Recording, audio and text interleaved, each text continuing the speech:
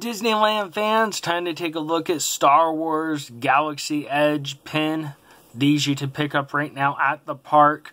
Don't forget to subscribe if you like seeing tons of Disney stuff and so much more news and awesome stuff you guys to pick up at the park. This is the channel for you, and we have nothing but Disney stuff on this channel. So let's take a look. Star Wars Galaxy Edge. They brought on us out quite a few from the Chewbacca one and many others. I think they're really neat looking and uh, so cool.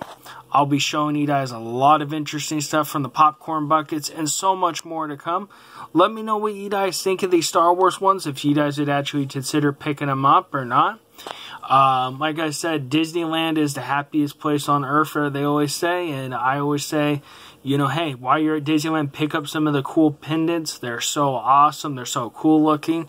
But the Star Wars Galaxy Edge is just really getting exciting since it's supposed to debut in just a few days.